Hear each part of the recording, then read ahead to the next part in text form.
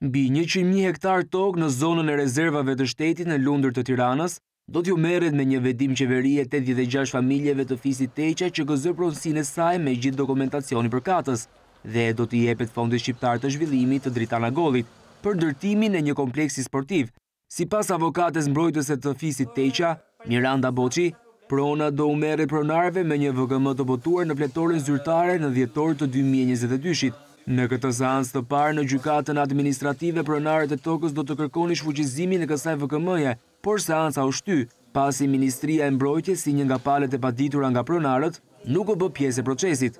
Çuditërisht vënd të t'u kthehet prona pronarëve ashtu siç ligji e kërkon, i jepet Fondit të Zhvillimit të ndërtojë komplekse sportive. Shteti po i bën një mbështetje të fuqishme pjesës së oligarkisë. Pronarët e tokës thanë se dhënia e pronave të tyre Fondit Shqiptar të Zhvillimit për shfrytëzim, Është në shkelje të ligjit dhe një grabitje e pastër shtetërore. Ndërkohë shteti s'i pyet fare pronarët, ia jep Fondit Zhvillimit ta zhvillojë Fondi Zhvillimit pronën e pronarëve. Për interesat e njerëzve që rrinë mbrapa qeverisë, vetëm atyre t'i bën shteti, t'i bëjë te meno. Pronarët s'ka gjo, pronarët mos marrin asgjë. Gjyshi jonë i ka ble me flori gjithë ato toka. Ne sot rrimë me sy në qiell.